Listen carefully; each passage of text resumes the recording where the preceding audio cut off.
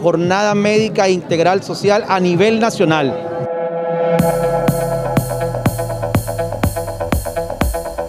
Nos encontramos acá en Chacao, donde estamos prestando el servicio de odontología, del servicio de medicina general, oftalmología y otra serie de especialidades. Venta de alimentos y víveres como elemento esencial, actualización de los carnets del personal de jubilado, así como también la fe de vida y la entrega de la bolsa de alimentación. También estamos haciendo la entrega de ayudas técnicas, de bastones, este, pañales desechables y otra serie de ayudas especiales y específicas para población objetivo en, en particular. En la actualidad tenemos 62 centros de atención primaria de salud, en el cual el día de hoy 24 a nivel nacional están en la especialización para niños y niñas y adolescentes, todo en el marco de esta estructura del Día Mundial contra el Cáncer Infantil. Estamos haciendo lanzamiento oficial de la página web de la Fundación del Fondo Autoadministrado de Salud, www.basmegov.be.